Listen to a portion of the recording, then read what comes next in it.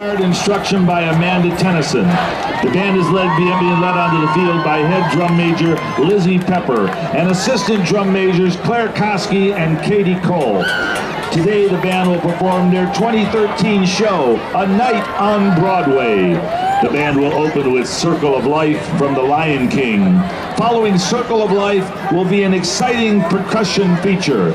Tonight the band will conclude with One Day More from Les Miserables.